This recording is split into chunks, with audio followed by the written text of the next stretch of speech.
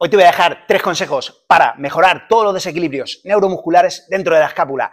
Primero, controlamos la escápula, controlamos la escápula, controla la escápula, activa serrato, activa trapecio medio, más serrato, menos pectoral.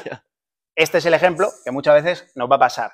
Fisioterapeutas y entrenadores que intentan controlar los desequilibrios musculares a través solo de dar órdenes a diferentes grupos musculares. Y es que así la recepción muscular no funciona. Te explico a continuación tres consejos que sí tienes que tener en cuenta.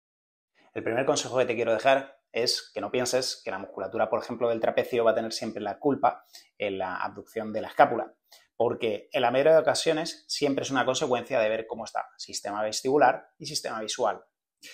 Otro consejo muy importante es pensar que el serrato tiene que estabilizar sí o sí la escápula y como vemos en este caso en su hombro izquierdo, el serrato está sobreactivo y por eso genera esa abducción y falta de estabilidad. Por último, y no menos importante, es que más activación nunca es mejor. Cuanto más eficiente sean nuestras energías, es decir, cuanto menos costo energético tengamos, mejor. Y ahora te dejo un claro ejemplo de que el músculo no tiene la culpa. Eso es. Aquí me molesta. Muy bien. Ahí cuando llegas arriba, cuéntame. Mucho mejor. No me duele ahora. Vale.